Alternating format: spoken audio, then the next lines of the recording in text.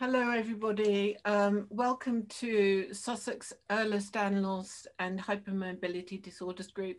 I'm Jane Green, Chair of SEDS, and this is our fifth webinar. So hopefully we're getting a lot better. Um, that's not to say we are too bad before, but um, definitely our, I think our tech is getting better. Uh, absolutely delighted today to welcome uh, Dr. Hazel Gowland, who um, completed her PhD in food allergy, innovation in advocacy, research, and training to support and protect those at risk at um, Kingston University. In 2019, she was appointed a visiting fellow in the School of Medicine at Southampton University and a member of the Seafood Knowledge Network Expert Group. She's an expert consumer, patient advocate, and has been working to reduce allergy risks and improve lives since 1994. She continues to work with a wide range of stakeholders to undertake research, deliver lectures and training, and promote understanding. And we'll have all her links at the end of the webinar or on other bits. Um, on our website, you can see what she does and her research. So I'm going to, uh, we're going to have her presentation now, and then we'll have a Q&A later. So um, delighted to share the screen with you, Hazel, if you can do that. Brilliant. Well, good afternoon, everybody, and thank you for joining us, and thank you to Jane for this invitation.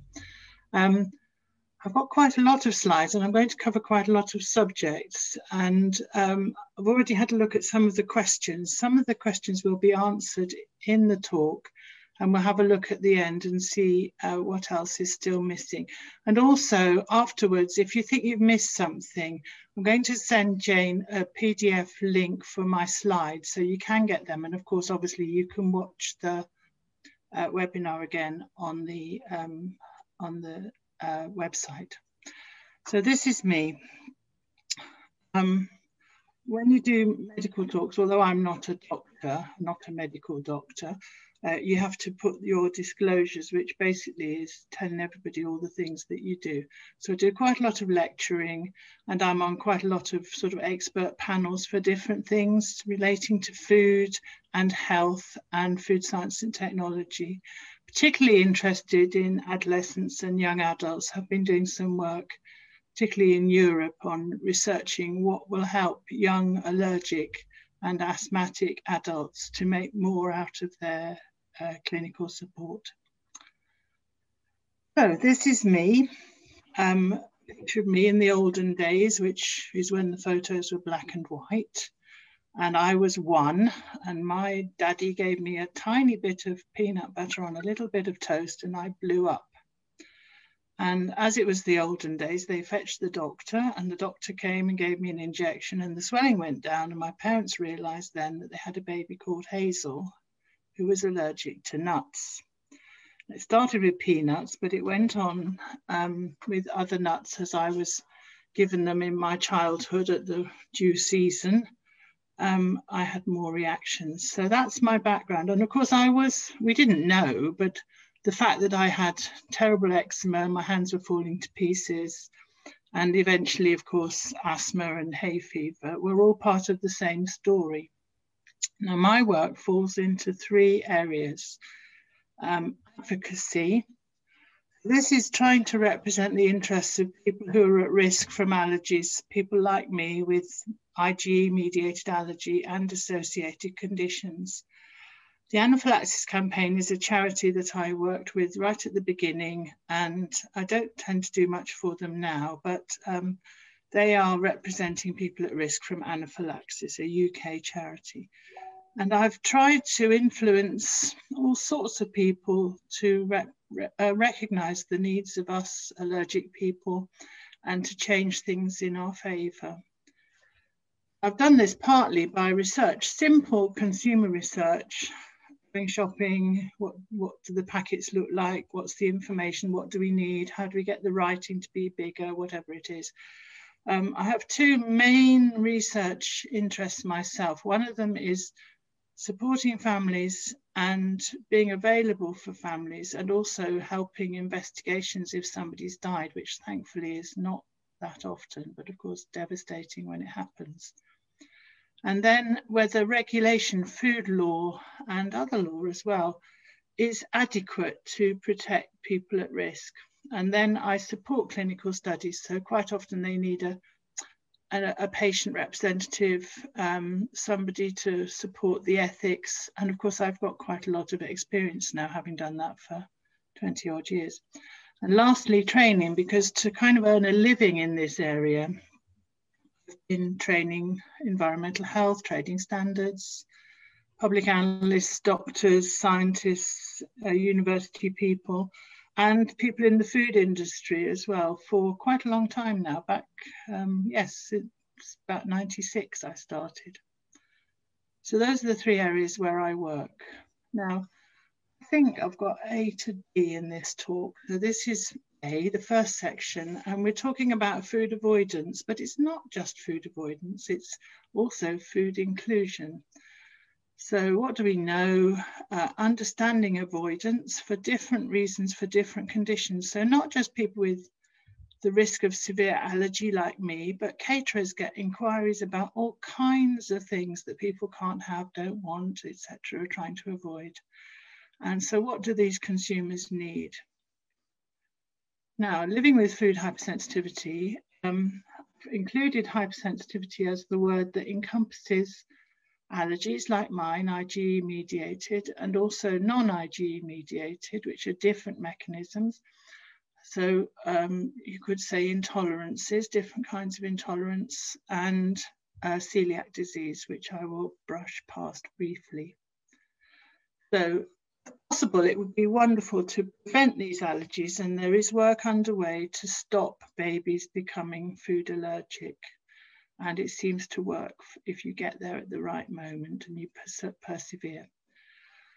Diagnosis, if you think you've got an allergy, obviously you need to access optimal diagnosis. The doctors who do proper diagnosis in, um, it, uh, are often finding that by the time people get to them, they've spent a lot of money on should we say, alternative diagnoses, which are actually not very helpful at all and don't tell you anything that's helpful and possibly even jeopardize your health because you've been told to avoid stuff that you shouldn't really be avoiding.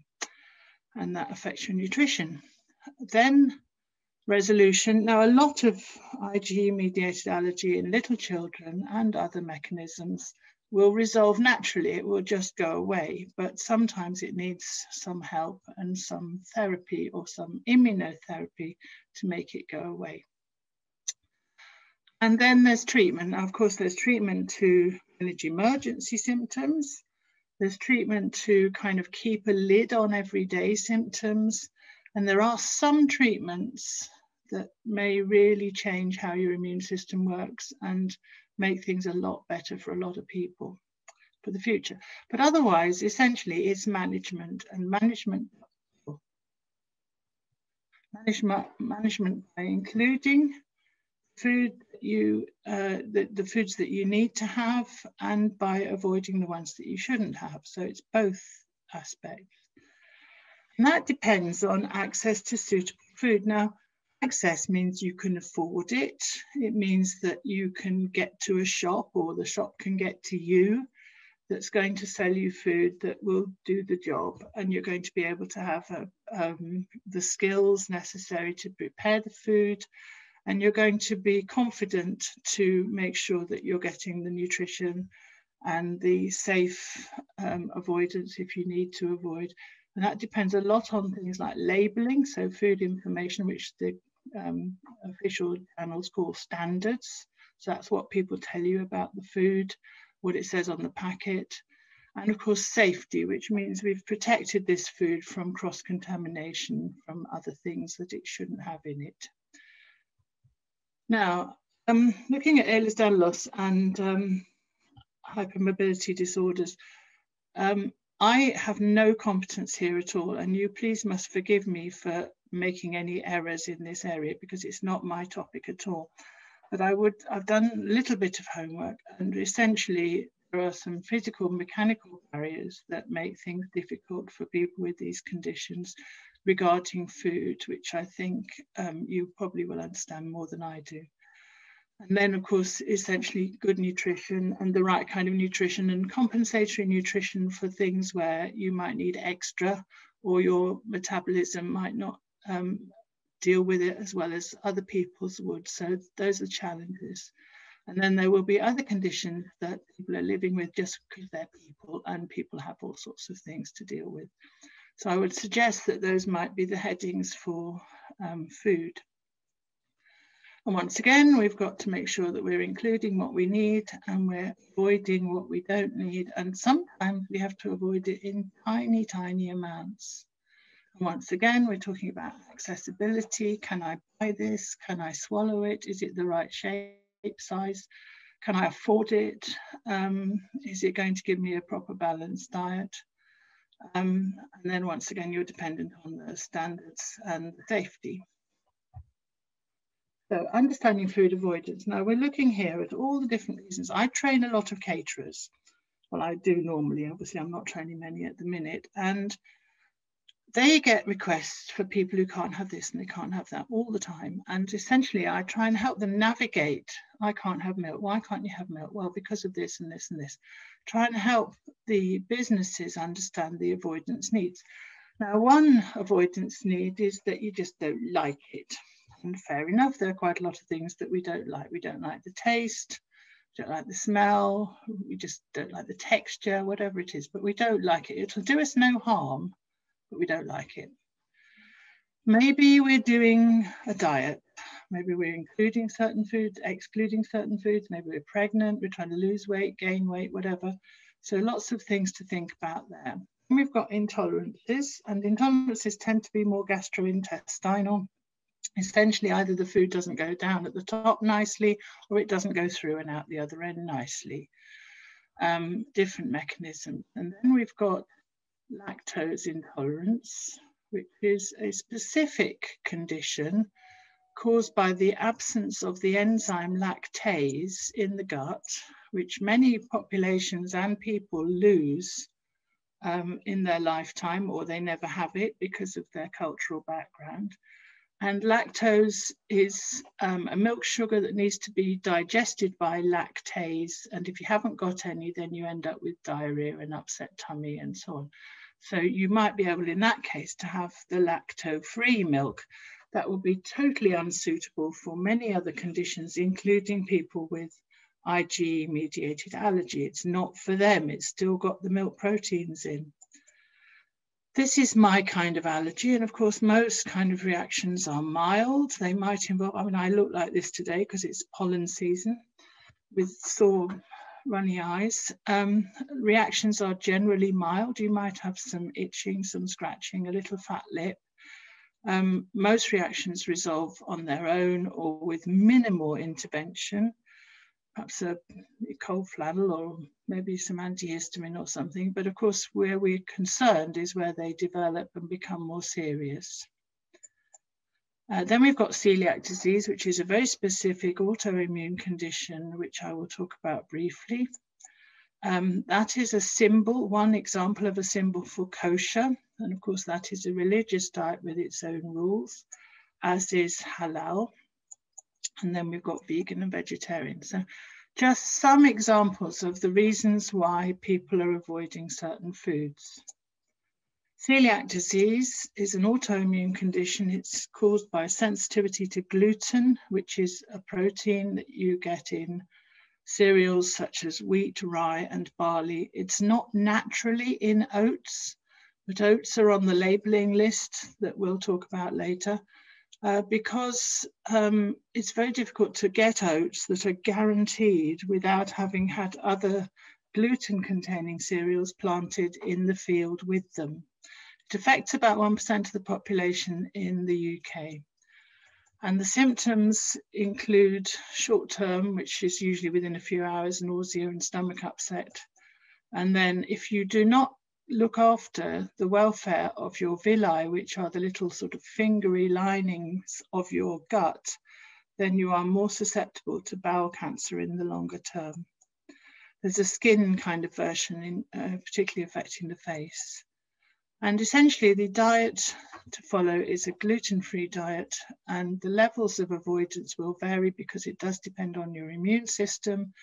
But ideally, you avoid the gluten in your diet and you stay very well indeed. And there's lots of stuff on the market now, lots of products which are slightly more expensive because they've been made in special factories with special controls out of slightly more expensive ingredients. And they've had um, precautions such as batch testing before they allow the ingredients in the factory. So people choosing and supplying food. Well, we start with the kind of basics. In early life, this is the person choosing and supplying your food. And as far as we know, there's not a lot you can do to impact on whether your baby becomes allergic or not, except as the doctors will say, don't smoke and eat a balanced, healthy diet and keep yourself as well as you can. Uh, the same normally applies for breastfeeding. There's little evidence that some allergenic proteins can get through in the breast milk and can affect some babies, but generally speaking, if the mum has the food, the baby is not any more susceptible. There are tiny examples, tiny numbers of example where sometimes the mum has to start avoiding, say, cow's milk because the proteins will be upsetting the baby, but it's rare. Um, and then the big inter intervention that we now know about is, is in when you start weaning your baby, you start giving them food in addition to the milk. And this is an opportunity for preventing any allergy if they are the kind of baby who's likely to become allergic. That's not all the babies, obviously, that's only the ones who are very susceptible because of their family history or because they've already got serious eczema, for example. And of course, eating is a social thing, and um, considering how um, school, nursery, etc., manage this um, challenge of uh, food avoidance or um, making sure that the children with the allergies are included in activities and can participate as fully as possible is really important as it is in homes as well, because making and preparing food is part of growing up. And this is, I think, a grandma in this picture with a child. And food is, it can cause tensions in families when somebody has to avoid something in tiny amounts. So, what do we know about prevention by early dietary intervention? Well, this is a packet of the Israeli standard weaning food, so the equivalent of a Farley's rusk or a baby rice product in this country, in Israel, is a corn snack, which is peanut. And from about four months, when the baby gets dribbly and starts teething and chewing and so on, um, this is the standard food that everybody has. And the doctors have worked out that by giving baby peanut baby's peanut at this age and continuing to give it regularly, it is protective against peanut allergy. So on the basis that the babies in Israel are not getting peanut allergy because they're eating peanut consistently from an early age all the time, not just once, but regularly, uh, the doctors in London at um, St Thomas's have tried this with other foods, so with fromage frais and boiled egg and peanut butter and uh, hummus and fish and eventually Weetabix. Um, and essentially, these babies are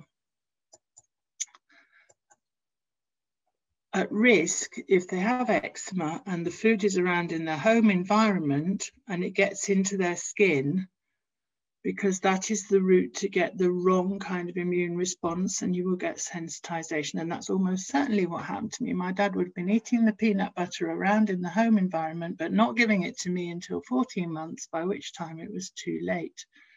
And the eczema, broken skin, and the dry skin as well, which we know is associated with a certain gene mutation, um, are part of the story.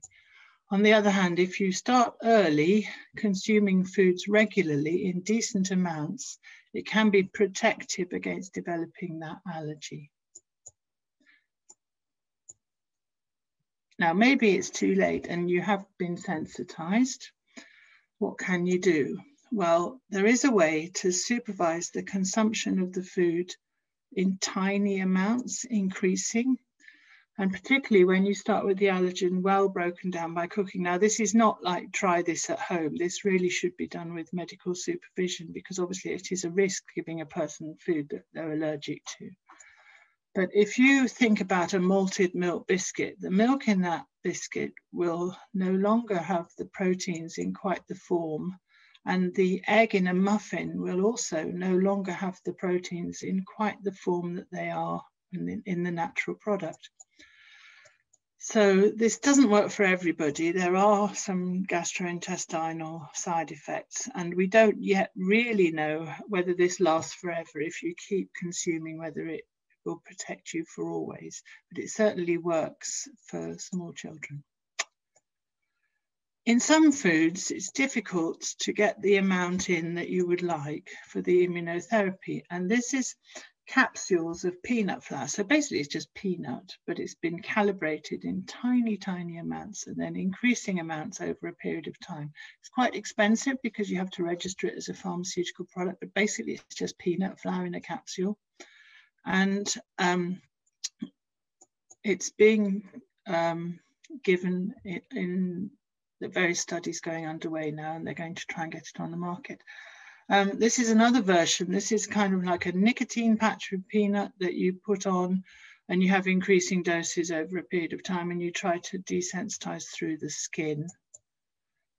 So calibrated increasing doses of peanut flour in capsules for consumption. You just basically add it to your food every day, increasing amounts. And it doesn't work for everybody. There's gastrointestinal upset, so nausea, vomiting, and so on.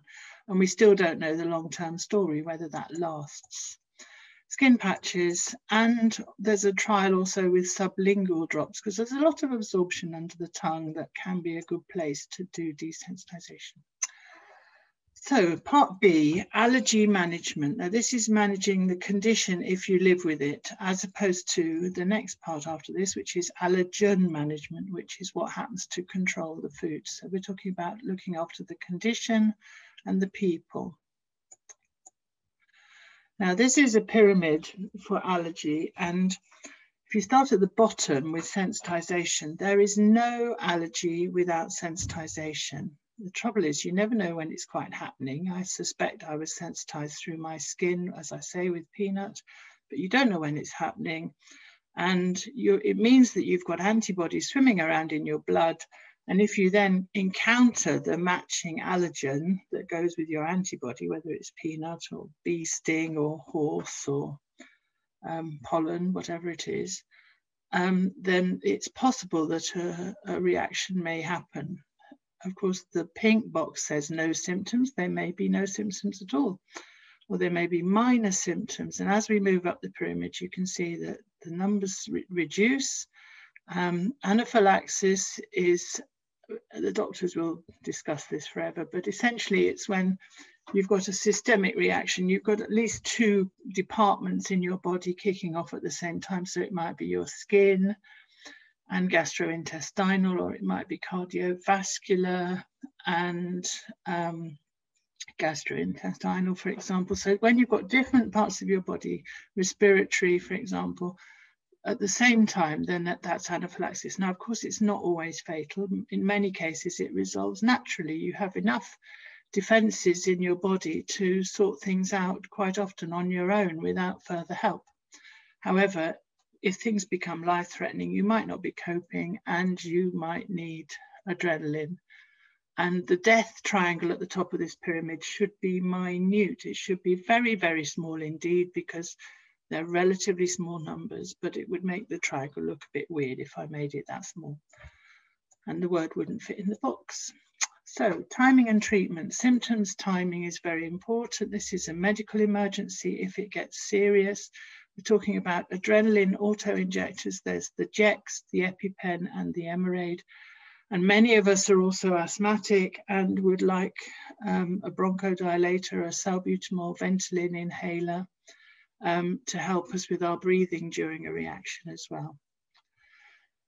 So posture really matters. Um, I'm going to say this again this afternoon. It matters that you have your your head and your heart level and your knees up because standing up suddenly, if your circulation is collapsing, it's enough to empty your heart and people will then collapse and die. So you must not stand up suddenly if you are having a severe allergic reaction, or even sit up can be dangerous. Adrenaline auto-injectors, it's called epinephrine in America, but it's the same stuff. An auto-injector is something you can do yourself. Uh, you do it the, on the thigh in that place that you can see in the photograph there, the picture. And you can do it through one layer of clothing. And the most important things are to get it the right way up and to hold it in for long enough. Managing your asthma, being on top of your asthma is, is important for controlling your reactions. And cofactors are recognized uh, if you've got a viral infection, for example, if you've just run or if you've already got uh, a lot of problems with the pollen season, for example, uh, PMT, these are things that can make your reactions different. Now, I um, have been involved in publishing data about food anaphylaxis back to 92 and work with all sorts of different doctors. And this is now a paper from Imperial that's just come out. So it's food anaphylaxis um, and we're talking about the number of people going to hospital and the way that the government cuts the age groups. Um, you've got the people at the bottom who are over 60 in the pink, you've got mainstream adults in the yellow, and you've got children 0 to 14 at the top. So there has been an increase. Maybe it's because of more awareness. We're not exactly sure why, but certainly there's an increase in people going to hospital. And of course, that is that's a load of that's an economic load on society it's also a load of stress on society and on those families and those individuals um, this is a recent paper from the Chartered Institute of Environmental Health um, saying that essentially uh, the number of people dying over 20 years has not gone up, and that is true. But we really do need to understand some of these reactions to work out what happened. So life skills, recognizing symptoms is important. Little children can often throw up and they get rid of it and that's that. But of course, over time, as you turn to the top of the juniors and then into adolescence, the symptoms may well vary. Um, sometimes it's just go to the loo and it'll fix itself. What I say is never go off on your own. And this is advice particularly for young adults always tell somebody where you're going and ideally somebody comes with you or hovers around. Somebody, tell somebody, carry your auto injectors all the time. They are bulky and inconvenient and large and plastic and a right nuisance, but that's all we've got at the minute. So we have to take them with us, ideally two the instructions on your phone and get your friends to have it on their phone as well. That's quite important. Get the trainers, you know, the dummy ones that don't have a needle or a drug in them, and practice with everybody. Make sure everybody's really familiar. Which end do you take off? Which bit do you stick in your leg? Hold it how long? If you can, do the second pen in a different leg because the vasodilation will have started if you do it in one leg and then you want to perhaps put the other one in the other leg so that that one is all open and ready. And that is the posture in that photo for anaphylaxis. So head and heart level, knees up. You do go to the pub and you do sit down and feel a bit better. Don't stand up. Don't stand up suddenly, just roll on the floor if you have to keep level. Prescriptions for adrenaline have gone up huge numbers. What's that, four times in um, 20 years? So mainly, I suppose, awareness, but that's how many people are carrying them now. Lots of people are carrying adrenaline, not necessarily using it, but having it ready. avoiding food allergens, we need to read the signs, we need to talk to the staff, some of us are more prepared than others to put up with a minor reaction. You can see this child has a fat eye and he's obviously perfectly fine and that reaction may just go away. So it depends on your tolerance of reactions.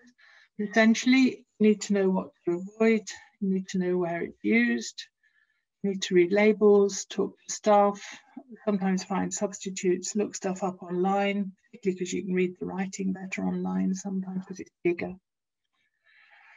And if all else fails, then you have to be ready to manage any symptoms. Socially, particularly young adults, it's ideal if you've got a, a peer support, somebody that you trust, a confident, competent friend. First of all, to help you with the avoidance, you're not going to eat that, are you? And secondly, to uh, help you with any reactions. Where's your pen? Phone the ambulance, etc. There's a denial of risk. Many of us, of course, live with risk, and many of us break our own rules.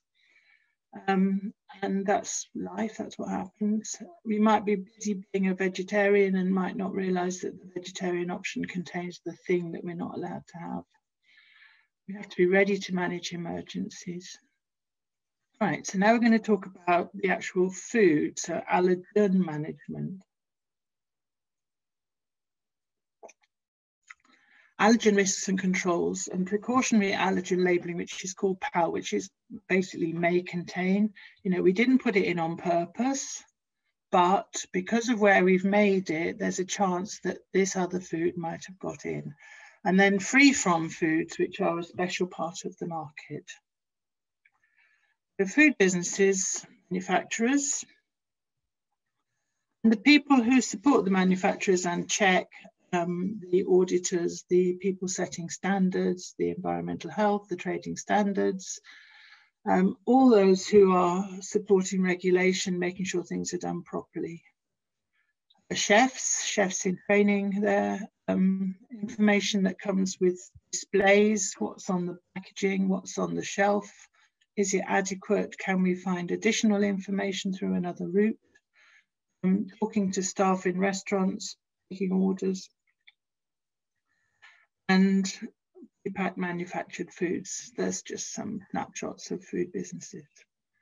These are also food businesses, school meals. And often they're very, very good at this and they have what I call a captive clientele. So they're looking after the same children all the time and they give up quite a lot of time and energy to try and help support these children when they can. But it is risky because these are often quite high risk children with a catalogue of different allergens that they're not allowed. Care homes, um, so all through life, your allergy risk will possibly change and people do develop new allergies in older life. And of course, this is a, an airplane meal, but any food, anywhere, anytime, um, needs the person needs the right information and they need to know that it's been made in a safe way.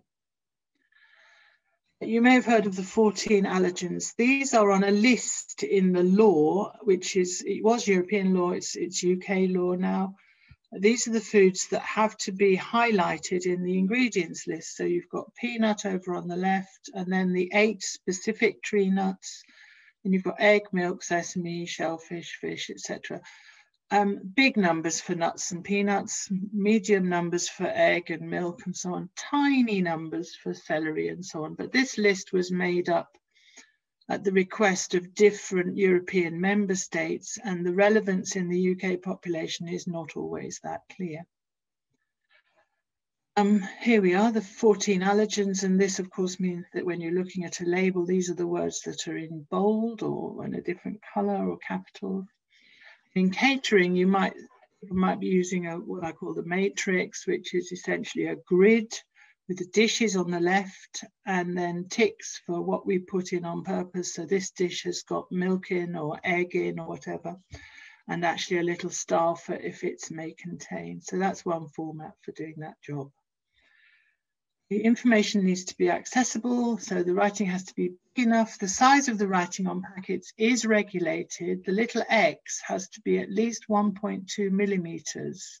The only exception is where it's a tiny packet like chewing gum, where they're allowed to make it, I think it's 0.9 millimeters.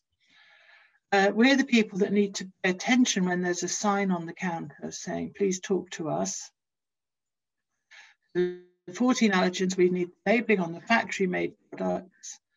Uh, the 14 allergens information needs to be made available in catering on request and everything needs to be consistent. There's nothing more scary than looking on the menu and finding that the dish is slightly differently described from the folder, which is slightly different from the website. And we also need these signs to get people to ask. It must be consistent. That's an allergy menu from, I think it was a long time ago. Um, and all the allergens per dish are listed, and then there's a little may contain for some of them. So that's not the standard menu, that's the one you get if you ask. I would say that there are other allergens that are more important. Um, kiwi allergy is huge. There are probably more people allergic to kiwi than there are allergic to fish in the UK, bananas, and then all the legumes. So peas, beans, lentils, uh, chickpeas, etc. And the trouble with those is that they are part of the plant-based diet. That's where that's where food is going at the minute. Lots of schools have, you know, meat-free Mondays, for example. Um, here we are again, the other allergens, so chickpeas, lentils, legumes. These are the fastest growing as far as I can find out. It's difficult to know. Peas, for example, pea flour is a protein which is used on other products. These are chips from Marks and Spencer's. And pea flour is obviously sort of dusted on them to make them crunchy. There are lots of families now that um, I see on Twitter. And there's a hashtag which is stupid peas, which means now peas have turned up in a place we weren't expecting, another place. Pea and bean flour in bakery items as well. Now, Isabel Skypala, Dr. Isabel Skypala, is a research dietitian at um, Imperial and the Brompton and she is wonderful at doing detective work with people, particularly well, adult patients who've had allergic reactions to mystery things. And she says there are some lifestyle concepts, for example, the idea of health and fitness and smoothies and protein shakes and so on and so forth, which are causing people to report reactions. And one thing is that exercise um, at the same time as consuming certain allergens or um, certain big proteins can make your symptoms quite a lot worse. Um, the food and exercise culture, there's lots of promotion, there's lots of marketing about the health giving properties of these various foods, and particularly things like meat substitutes. So, um, basically, plant based legumes, that kind of thing, or wheat substitutes. Uh, buckwheat, for example, is a wheat substitute, which is um, widely used in Korea and Japan and is actually top of their list. It's one of the most um, uh, common allergies that they have there. And then supplements as well. What's in that extra rich protein shaky thing that you're adding to your smoothie? So she's spotting that there are some trends that are causing new allergies and also reactions in people who would otherwise be able to eat them, but the exercise made it worse. And we need to understand this a bit more. So looking at plant-based foods or vegan foods, this is a label. I have to say it's a nightmare label. I took a photo of it in a freezer in a college. And it's got, I think, 136 words. Now, whatever your ability is in reading, and of course many caterers don't actually necessarily read that well, um, you can see there are lots of words. The label is badly pasted around the corner of the box. But you can see things like kidney beans and turtle beans and butter beans and so on. But also how complicated is that? Now this is a jackfruit burger. So it's one item that, you know, a box of back jackfruit burgers. At the bottom, you might be able to see it says may also contain tree nuts, peanuts, and sesame seeds. So it's got a may contain hasn't actually got any of the 14 allergens in it, but it's full of spices and seasonings, I think. One of these was smoked water, I think. Anyway, the point is it's complicated. It's a very, very artificial, ultra processed, complex product.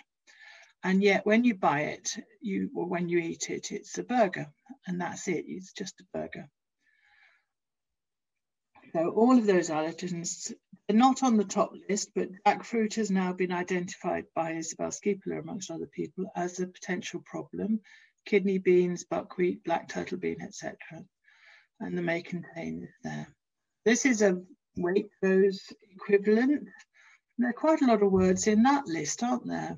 Quite a lot of words. 89 words in that list. I mean, they are things you mostly understand, although I don't really know what smoked water is. Smoked salt, dextrose, monohydrate. So it's this vegan food, this plant-based food is not always as simple as we might think. I mean, even if you compare it with a beef burger, beef burger, good quality one, has six words in the ingredient list. Um, lookalike meat is a challenge because, of course, we don't want any confusion. We want people buying things and asking for food that they understand. Now, if a, a plant-based burger is made to look like a meat burger, then obviously it has the chance of misleading, especially if you end up consuming all those things. And if it looks like that, it's made deliberately to look like a meat burger and it's served in the way that a meat burger would be served, but it's not meat. And I use this photo because obviously that is not a burger, that is actually a chair. So alternatives to milk, another issue because you make this stuff are meeting quite a lot of need, not always the nutritional need. You won't necessarily get the vitamin D that you need, you won't get the other nutrients that you might need. But the particular issue at the minute is that many of the suppliers are desperate to call their product milk. And milk is a legal word. It's a four letter word in the labeling legislation. And you can't call your product soya milk or oat milk or whatever. And yet the people who make this want it to be counted as, as if it was milk. Um, and also some of these um, foods, uh, this is Professor Chris Elliott at Belfast, there's a massive difference in the bioavailability of micronutrients from natural sources and those as added as products often sourced from the Indian and Chinese chemical industries. So some of the ingredients in some of these plant-based foods are actually not really very nutritious in the form that you get them. Um, this is another consideration. Uh, this is a researcher from Canada and a researcher from Sweden, and they're saying that if you want to do a plant-based diet, so if you're doing veganism and you've got allergy, then they kind of contradict each other to a certain extent. There's a risk of nutritional deficiencies, particularly during childhood, um, comorbid, diseases, so asthma if you've got food allergy, means that you might need more energy and more nutrient requirements, which are not made available in a plant-based diet necessarily. Um, and these diets have got limitations, both the food allergy diet and the vegan diet. So the need for dietary variety and or increased consumption to, to re reduced bioavailability of the nutrients in the food. And they did an experiment in children. I don't think these people have got any axe to grind. I don't think they're pay, uh, paid for by the meat people or anything. I think they're just doctor scientists. But essentially, lots of these nutrients were, were insufficient in a plant-based diet for children, far more abundant in animal versus plant-based foods.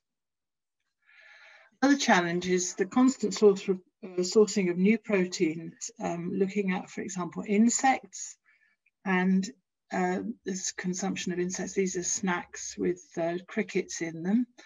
And if you have a shellfish allergy, that might cause you problems. And you might not be aware of that. So you might react the first time you eat a cricket snack, maybe.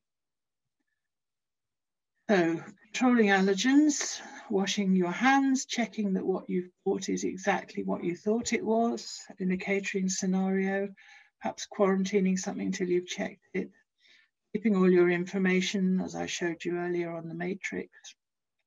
Cleaning down effectively is really important. Making sure that your dishwasher is not overloaded with gunk and it gets well cleaned out and the stuff gets rinsed off before it's put in there and the temperature's correct and the products are correct.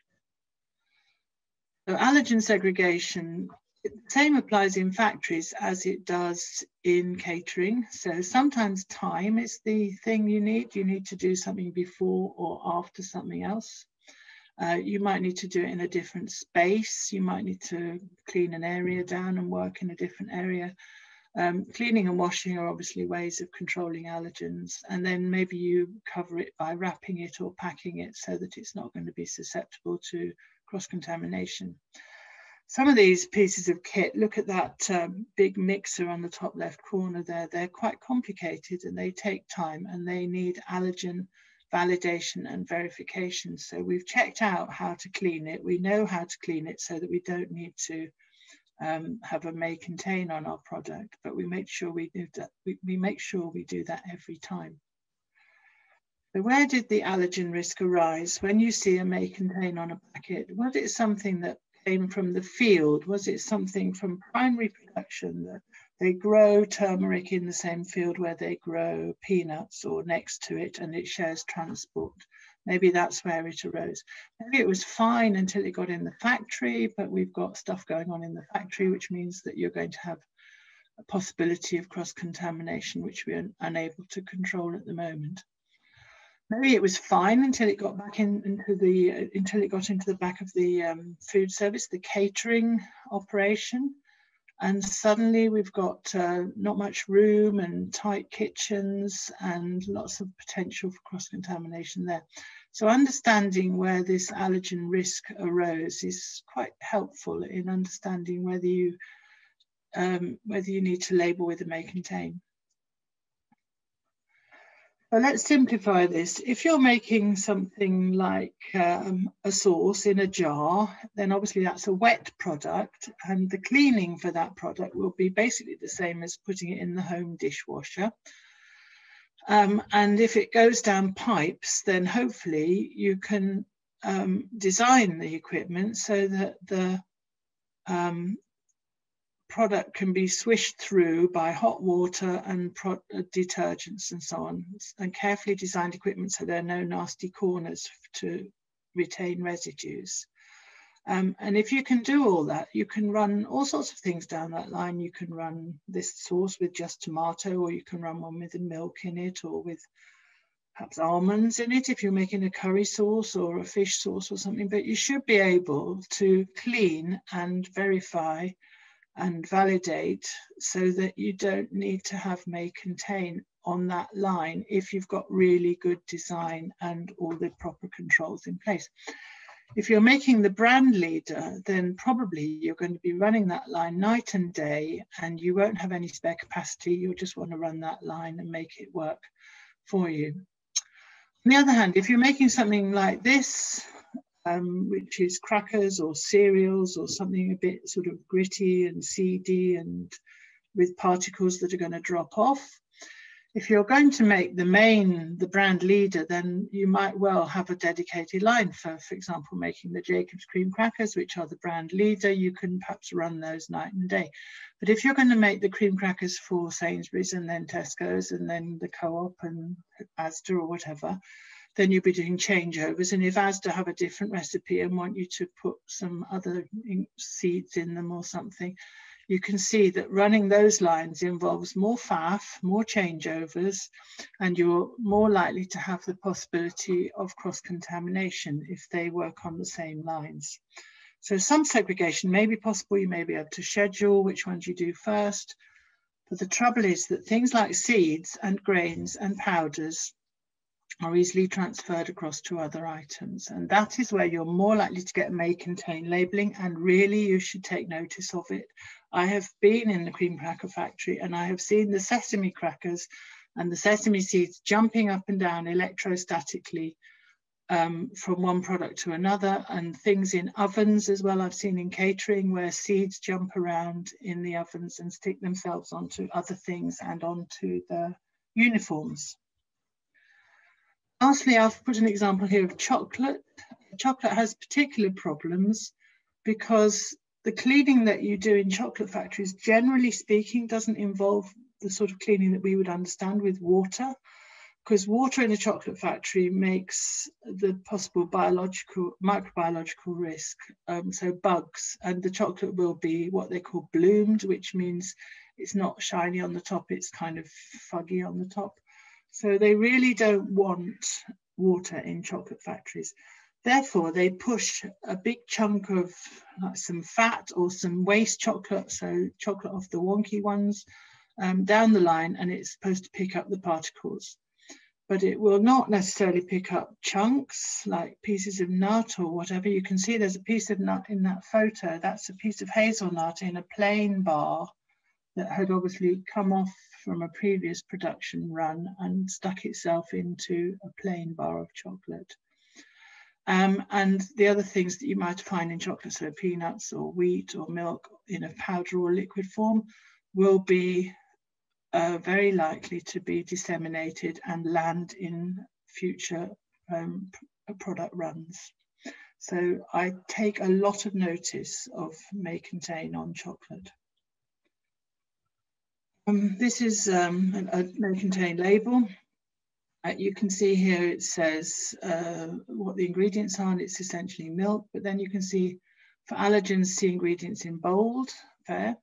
May also contain nuts, egg, and gluten sources. So those are three allergens that might be in this product.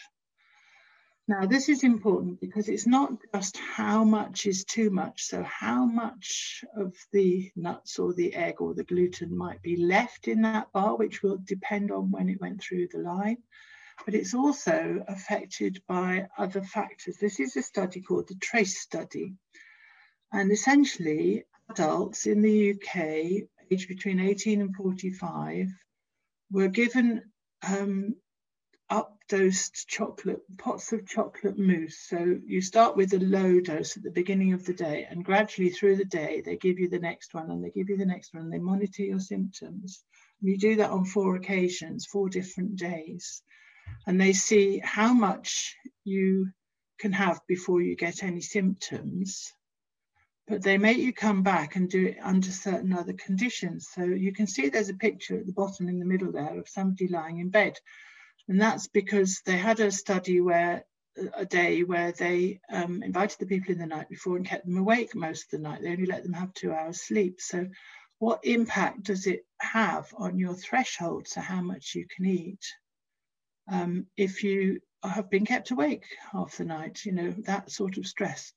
And the other intervention that they had was to get on the exercise bike between the pots of chocolate mousse and do quite serious exercise and then go back and eat the chocolate mousse.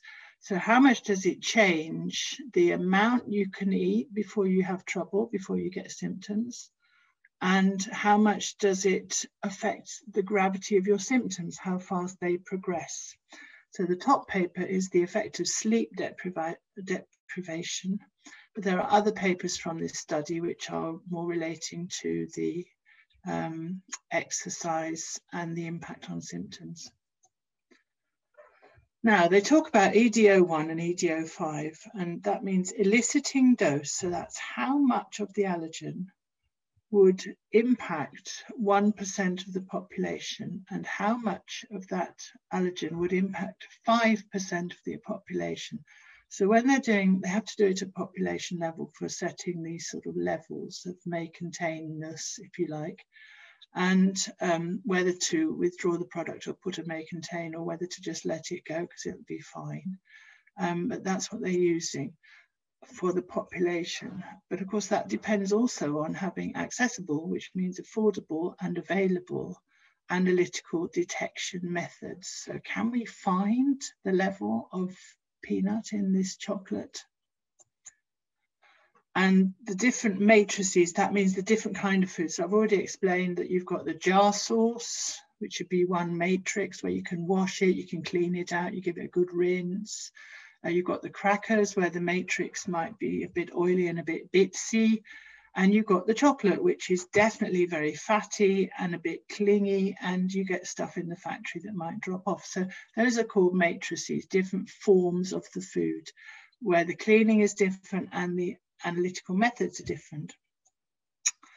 Uh, this is a picture. The top row Now I'll give you that little circle there on the right because that's a centimetre, just to give you context for the size of the pots.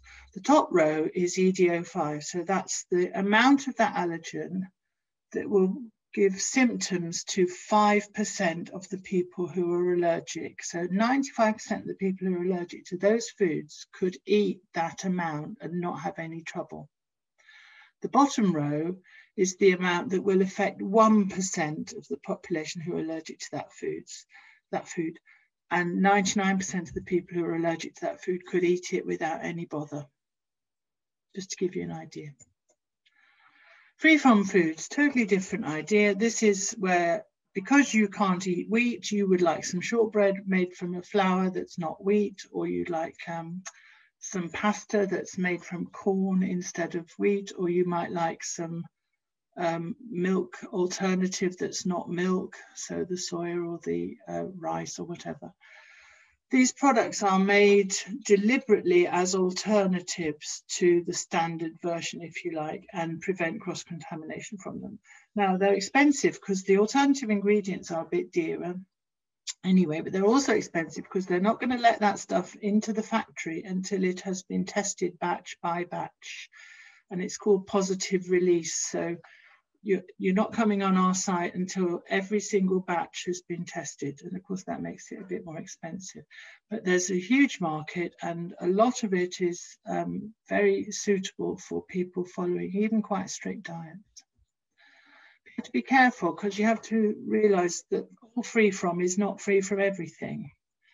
Um, this is a a sign in Morrison's, I think it was, gluten-free, wheat-free, milk-free. Well, not everything is free from all the things, and it can be quite misleading. Uh, we had a big guide, and I think this is the chocolate bar that he had, and he was allergic to milk. Now that says gluten-free, so therefore it's in the free from section, coconut milk chocolate bar. Well, I think that's extremely misleading because the word milk on there means it's got milk in, but it could be coconut milk, which is not the same thing at all.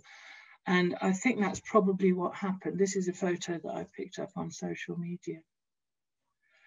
First of all, learning from research. So this is my work. Um, UK fatal anaphylaxis suspected or confirmed from food allergies since 1988. I've been collecting data and in some cases supporting families and coroners. Um, and then the other part of the work is investigating and recording near misses and other reactions and complaints. So when people have had a reaction and they wanted to know what caused it, so that's another story as well.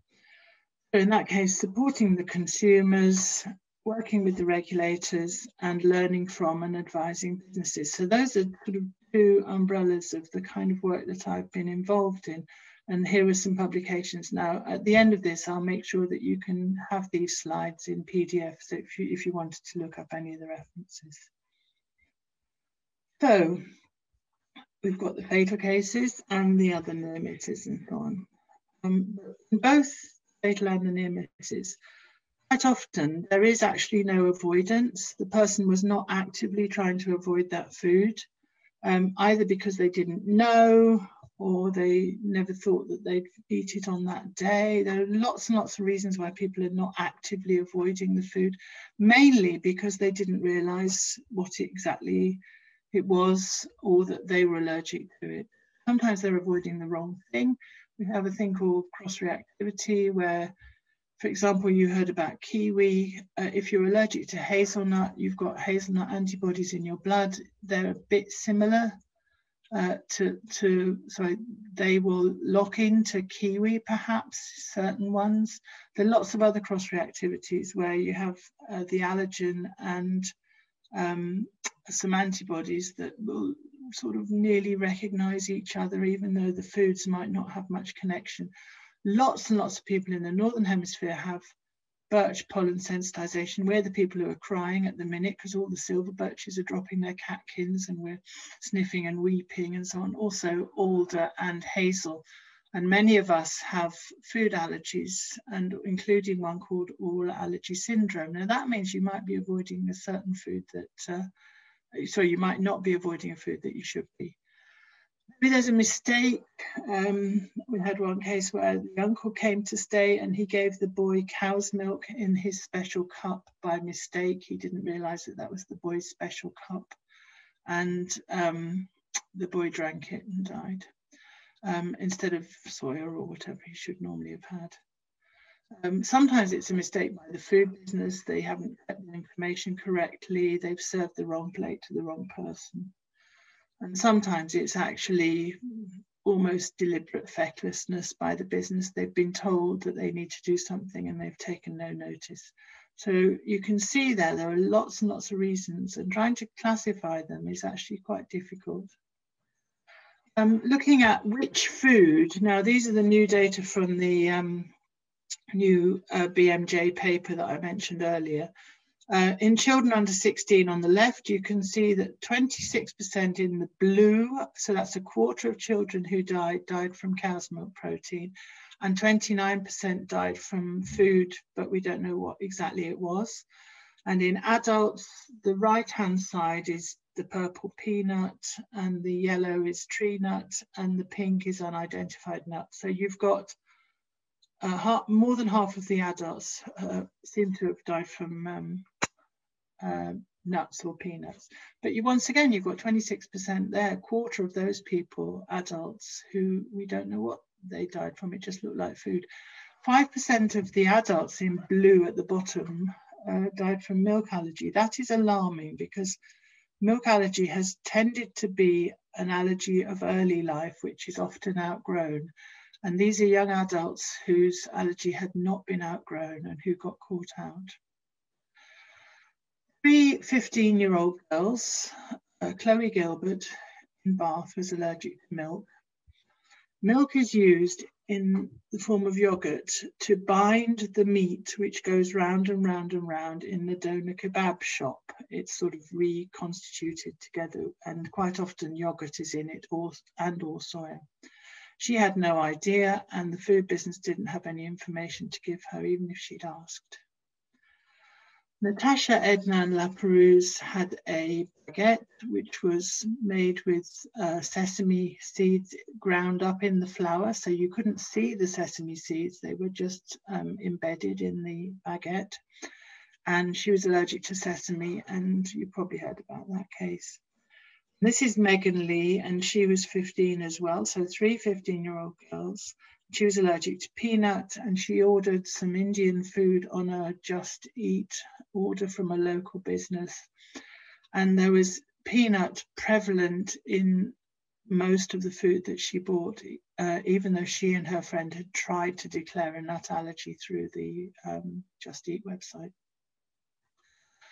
You might have heard of Natasha's law. Now, it's quite complicated. Essentially, it affects certain status of product. There are three sandwiches in this picture. There's the one in the packet with the word go on the front, which is from a factory, which will have full ingredients and allergens as it would from any other product from a factory. There's the sandwich in the box, which has been made to order so somebody's come into the shop and said, please make me a tuna and salad sandwich. And they've done it in front of them to order. And there's the one at the very front with the stickers on, which says cheese and tomato. And it is the one at the front which will be affected by the law, which is changing as uh, following what happened to Natasha. Now, the one at the front is called pre-packed for direct sale. So if business is making some sandwiches out the back because they know it's going to be busy later and they want to wrap them up and label them, put them in a chiller so people can rush in at lunchtime and pick them up and go quickly. They will in future have to put the name of the product, the full ingredients list with the allergens highlighted. This is the guidance from the Food Standards Agency. So that cheese and tomato at the front will need a proper label with all that information on it because but because of what happened to Natasha. And the same applies in Scotland. The Scottish Food Standards uh, Organisation has also agreed to do the same. So this is a UK thing. Now, thankfully, we don't end up in the coroner's court very often, but there is one case which I think is important to mention that rarely, in fact, this is unique as far as I know, if you have a young, fit adult and they have an allergic reaction and they have a cardiac arrest, they can be resuscitated. And sadly, in this case, this young lady who went to Budapest and probably ate nuts um, was resuscitated, but you can see that she had been brain damaged and she now has lifelong care needs following her allergic reaction. And I think that's a consideration. Most reactions are mild. The ones that become more serious, even they tend to resolve. Rarely do people die, but just occasionally we can end up with a scenario like this. So I have an interest in the law relating to food allergy, and I have collected a series of cases, which I'm waiting to get my collaborator to publish with me. Um, but these are the typical penalties. So businesses might be fined and have to pay costs and compensation. Um, some cases, they haven't actually got any money. There's some very, very um, sort of shoestring uh, businesses that really don't have a lot of money. And if they end up um, causing somebody to have a reaction, they perhaps might have a community order. There are a few people, I think there are probably about four or five people in jail or have been in jail recently, um, and also somebody who was uh, curfewed and tagged as part of their punishment for an allergy um, incident. And in addition, people might make a civil claim. So they might say, look, you've, you've made me poorly and I've had a week off work and uh, etc. So please pay me some money. And also reputational damage on social media. You might have a bad report on TripAdvisor or somebody say, look, I went to so-and-so last night and I had a reaction. This is me in hospital and this is caused by this business. Of course, they may have loss of business, so loss of trade, and also actually lose their business because they um, have lost the trust of their customers. So, lastly, just to point out that food allergens in food are highly regulated. Food allergens in non-foods are not re regulated in the same way. Whose idea was it to put almond oil in fabric conditioner? So that's one place you might encounter food allergens that you didn't expect. Or milk in soap or coconut oil in loo roll. And in that moment when you're looking for the loo roll, you might not be considering the food allergens. And that is the end of my talk. Thank you. Thank you so much, Hazel. Um, if you stop sharing, then we can just have a chat. And that was amazing.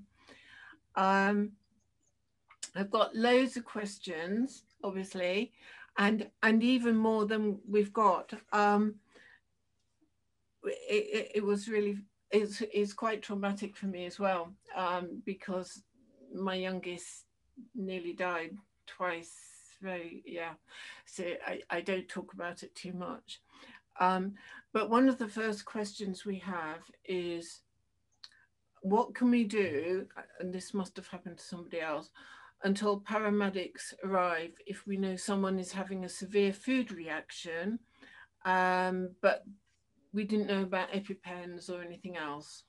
Okay.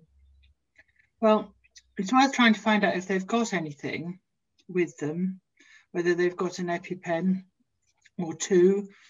Um, in the community, as they call it, you know, in real life, has anybody else got one? Because that would be worth finding out. Um, it, it's um, what's it called? Good Samaritan, isn't it? Where you where you try and save somebody's life. Um, first of all, you make sure that the you, ideally you've got two people to help, but you make sure that the paramedics are going to find you so you send somebody to the gate or whatever, make sure that they've got the right postcode and all the rest of it.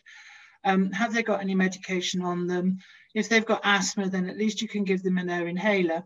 Keep them really calm and make sure that they don't stand up and move around too much. That posture is really important. And it's not instinctive to lie down when you're in a flat and you're worried. It's not instinctive. You have to actually be told to get your head and heart level and your knees up. But that's actually what you should be doing if you're, especially if you're in any risk of losing consciousness. Yeah, I, I remember that quite well. And I think maybe look for maybe any medical leaflet they've got on them or sort of medical yeah. alert. Yeah, yeah, yeah, yeah. Okay, good. Um, you, you talked about peanuts, uh, legumes, which was really interesting. And I, I find that really interesting because I know they, they do that intolerance desensitization, which you were saying. I've been brought up on peanut butter and I brought my children up on peanut butter. And when I was tested in London Hospital for allergies, they said it was a very good idea that I brought my children up on peanut butter from day one. So, um, and I had no idea about that because they were convinced they would be allergic to that instead of all the other bits. But peanut allergies in everything, isn't it? Seems to be. Um, the peanuts and the uh, flour. Can someone um, develop tolerance to them by just introducing minute quantities? And I think you touched on that yourself, but it would be under medical care. I would want that under medical care, really. Um, I mean, for little children in weaning, I tell you, I could probably send you a link actually for those people who are interested. Um, Allergy UK have got uh, a very, very um, comprehensive uh, PDF guide that you can download and a kind of top level simple guide. This is all about um, weaning, early introduction, um, generally for all children and then for high risk children. So Allergy UK website, look for that because that's really the best place. But I, I, I mean, I, I'm, it's irrelevant to me in my life now, but if I, um, if I had a baby that was high risk for allergic disease, I would be wanting the best guidance on early introduction as possible. And would that be for every food then, or just? Well, the thing is that the sensible thing is that you do it for the foods that are in your family's diet, because you know that's so. So you do it with the food that's around. So if my dad had done peanut butter, that would have been, you know, great news. I wouldn't be doing this now, would I? But uh, there's no point. In, I mean, in America, they are now looking for commercial opportunities to market um, a weaning food which contains the 14 allergens, for example. And the point about that is that if you're not going to eat lupin, then there's not much point in feeding your baby with lupin you just let them kind of you know through the natural order of life they might encounter it eventually.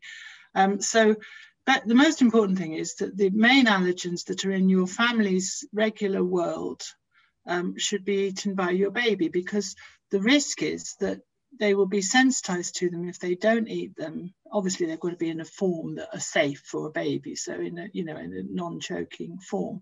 But you don't need to desensitize them or, or, to protect them from everything, only the things that you're likely to have in your diet.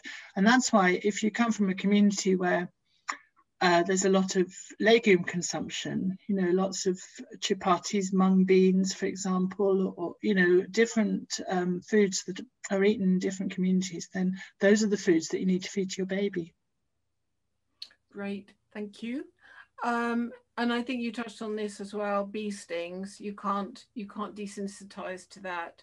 If you swell uh, up, uh, you, you, can desensitize to bee sting. Oh. Um, when I I had desensitization for some of the pollens at Guy's, and there was a lady having bee, uh, bee sting desensitization. It's a program of injections, so it can be done. There's there's no there's no obvious overlap between the people who have food allergy and the people who have sting allergy or drug allergy. There's not any correlation. They're different populations. I mean, you might get people who are in both, but generally speaking, there's. But the people who've got hay fever have a massive correlation with the people with food allergy. Ah, okay. Yes, that rings a bell. I'm with you on the alder catkin at the moment as well. Yes. Um, if you start fizzing on the lips, you touched on this with your pyramid. Eating fruit, is it a sign it could get worse? But I think you sort of touched on that before. The, there is there is this thing which I didn't go into in enough enough depth, but um, if you look up something called oral allergy syndrome or food pollen syndrome, that is to do with cross reactivity. Now, it's a long story, but the birch pollen sensitive people, for example, um, some of them have what you might call localized oral reactions. So in the mouth, you get tingling with certain foods. And the foods that are often cited are raw apple, uh, raw celery or celeriac, raw carrot, and certain berries and cherries and things like that. Now, many of them are, are, have proteins which are a little bit weedier, if you like, than the than the nut storage proteins, which are kind of tough and hardy and have to get through the winter and so on. Um, so these slightly weedier proteins um, will be broken by the um, enzymes in the mouth. So generally speaking, that mouth digestion is enough to knock them out and you can get away with it. And some people will have a tingle and will have nasty symptoms, bit of a bother, but actually they carry on eating it because they like the food, maybe, I don't know. Um, but it's called food pollen syndrome. And if you look it up, you can have a lot more information about that. It's a sort of a cross reactivity with pollens. That's really, I'm definitely going to look that up. Thank you. Um, you've touched on this before. Why is it that often I've been told a cake or biscuit are nut free, but then find it has almond flour in it? Well, uh, yeah, I work with caterers and I listen to caterers and I have been in a court where somebody had died and the caterer was swearing that almond wasn't a nut. And people just, if it doesn't look like a nut because it's in a ground form, people just get blockages. Right. Um, it's interesting because my children are tree nut allergy, um, very severe, but not to almonds. Yeah. Because my youngest at 15, 14, um, teenager wanted to try out things, wanted to, and I think that maybe is the issue, you know, they're going out more, yeah, yeah, yeah. trying it.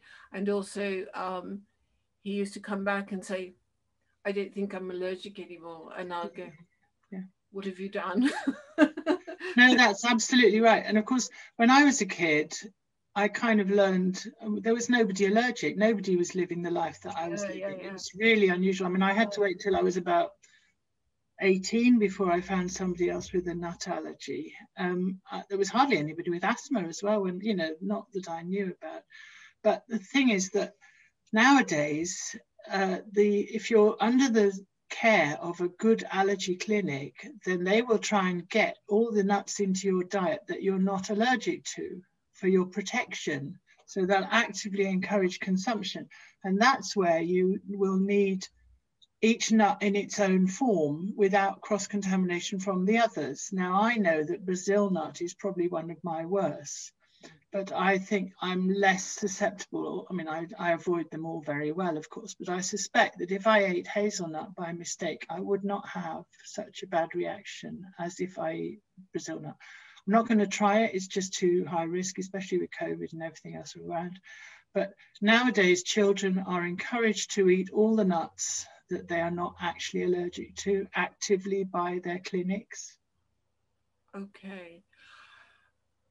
Yes, okay. I'm feeling a bit stressed by that already. Um, what about so a lot of children that I know and in my family um, maybe autistic are, are very um, literal. So reading the label may contain is very difficult because the diet is already quite narrow. And then you read that and then you wonder why, you know, there isn't much food to eat at all.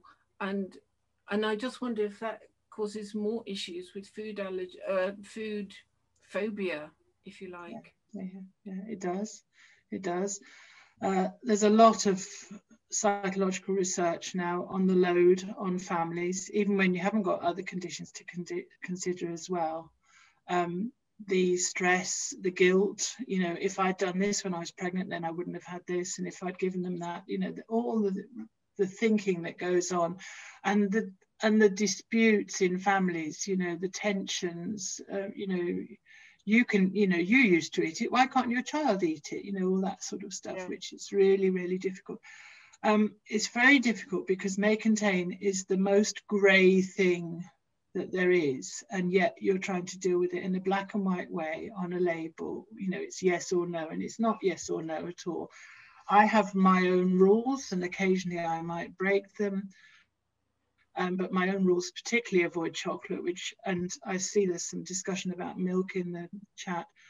Milk in chocolate factories is very likely to be may contain. It's, it's almost impossible to get dark chocolate um, without milk. I think the only company that I know is Nomo. I'm not sure about that, but um, may contain milk because of what happens in chocolate factories is a big issue. May contain nuts is a big issue. Uh, there's very little, well, I can eat things like Smarties and so on, but uh, grown up chocolate you can't get. Um, so I'm very cautious about chocolate. I'm very cautious about anything baked, you know, cereals and so on, especially in store bakeries. That's where I would also be quite strict. But these rules are built on a lifetime of experience and also quite a lot of insight of what happens in the food industry, which of course normal people are not, you know, necessarily going to be privileged to. And um, uh, also things do change. So there's push, there's push for regulation of may contain, but we do need um, we need a lot more understanding really. There, there's a lot of good practice which makes a lot of food safer than it would otherwise be, but it's a perennial problem. Um, there's a question here, what three words app helps paramedics find you? Um, don't know if you want to. I, I, I, I, I have just about heard of what three words. So I mean, you need you need anaphylaxis. Um, I don't know. I'm I don't know how exactly it works. So I'm not sure what to say. Yeah. Okay, maybe we can come back to that and we'll post it. We'll find out. Thank you. Um, auto injectors have a shelf life, so remember to check them. Yes, I know. and also, they have to be the right uh, size for the weight. So when your child is above 30 kilos, you need to get the bigger ones. And well, they're not bigger. Is there a, a, needle length as well? Is there a... Yeah, there is. It's a bit contentious. Um, Sorry. The EpiPen and the Jext are I think the Jext is 15 mil, the EpiPen is 16 mil. The doctors, uh, there's a new paper only just come out this week actually, which I've put on my um, on my Twitter account, um, because the other auto injector, which is available in the UK, is called Emerade, and that has a 25 mil, so like two and a half centimeters needle and the doctors will debate whether the needle has to go through a layer called the fascia, which is a sort of like a, a gristle, for want of a better word, you know, a sort of muscular layer. And some people think that it, it you can get enough adrenaline without doing that. And some people think that you really do need to get it in past that. And obviously, if you've got um, if you're a little bit curvy, even if you're not actually, you know, overweight or obese, um, the position of the injection site and getting the needle through this fascia are things that might not be the same for everybody. So it's one of these things that's uh, being discussed. There has been this new paper this week, if you're interested in that subject, yeah. Yes, definitely. And we'll get all your links and post them at the end as well for everybody. Okay, okay I think we've just about come to the end. I know um, the Natasha's law is coming into um yes law. it's october the 1st i should have said that yes. Okay so i just thought i'd say that. And it was an awful. Um we we we've been doing experience days at the airport and um you know allergies always come up airborne and so on. But um actually on the airplane it's always an issue with peanuts you know being delivered out and and now this. So I, that can only be good. I, I can't believe they're still giving, or they were when they were flying. Um, if you don't carry an EpiPen, perhaps you haven't prescribed one, what's the next best thing? Well, all the guidelines are pushing towards carrying adrenaline. Yeah. That's that's really what you need to do. If you're asthmatic and you've got a Ventolin, it might help keep your airways open, but really you need adrenaline. That's the clinical remedy for that issue. Okay, thank you. Just a couple more is um, someone went to a restaurant to check uh, on ingredients and because they liked to and they were autistic and the waiter passed them a huge folder yeah literally of a for of every ingredient um, and their child was in their element because they loved reading it all but for anybody else well also uh, it is i mean obviously we're not really doing this at the minute you know with the yeah. way we're living at the minute and and i think things are going to perhaps move on um, but certainly since 2014 so that's seven years now when the law changed and they had to give you the information um, there's nothing worse than a being given a really grubby folder that's sort of all sticky and yuck, you know, because that's not what you want. You don't, you don't want to go. That's such a good point. Oh my gosh. But, yeah, but also, you know, it's July and they've still got Christmas in there, and you're going, really? Is this actually? Can I trust this? You know, is it reliable? So accessing the information is a legal requirement. If you think that a business is not doing the job properly, then report them to your local council, you know, the environmental health or the trading standards, and just say, look, I, you know, I'm not sure that they really are on top of this, but um, relying on, I mean, sometimes they have, you know, the, the chain restaurants have got standard, uh, what you call it, menus with ingredients and so on, and they tend to have that information accessible. But uh, yeah, certainly being given a folder uh, is, as you say, it's, it's very interesting if you're interested in that kind of thing, but actually they're often flawed as well. And certainly they can be just a bit grubby. Yeah, that's a really good point. And I remember with those sad cases, um, the the advice at one point was to go into a busy restaurant and actually ask what the ingredients were. But for someone who is neurodivergent, that's the last thing you yeah. want to do. You just want to buy it and go. So that that was something that I talked about quite a lot. And I think the social aspect, the social environment you talked about was, was really key because a lot of families don't invite you yeah. because you're different or they're scared of you. And if you've got other things yeah. going on, I know personally it was really isolating for myself and my children. They weren't invited because people were scared. I think the other thing that happens is that sometimes people try really hard for you. They they want to include you. They try really hard, but they actually get it wrong. And then you have to say, you know, it's very kind of you, but I can't eat that thing that you've got specially in for me. And that's that takes massive courage. That you have to overcome so much to be able to just say that. Yeah, that's a really good point. I used to train uh, delegates, uh, I had someone come up to me afterwards and he was in tears because we talked about food allergies a little bit and his it had been worked out that his child couldn't eat rice and that was their main staple. Yeah, yeah. and it was you know their culture. Yeah, yeah it was devastating.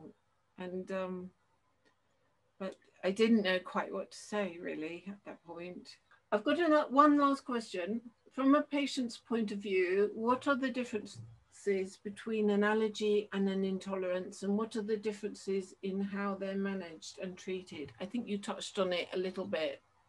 Yeah, um, I mean, essentially, allergy of the kind that I have that you've already talked about, the what's called the IgE mediated, the immunoglobulin E mediated allergy, is the kind that where your immune system is sensitized and if your immune system then has antibodies which encounter the allergen, then that can trigger the same sort of response with the systemic response, which affects you know the skin, the breathing, etc., where it's basically your body going into an emergency scenario and trying to protect the organs by releasing fluid into uh, from the circulation to go and do other jobs. Um, and that release of fluid makes the jeopardizes the blood pressure and the circulation and also creates swelling, which of course, if it happens in your throat, means that you're um, not necessarily going to be able to breathe. The mechanisms for different kinds of intolerances and also non-IgE mediated allergy are quite different and they're not my top expertise at all, but yeah. there is information available about them. Yes, thank you. Thank you so much. And thank you for everybody for joining.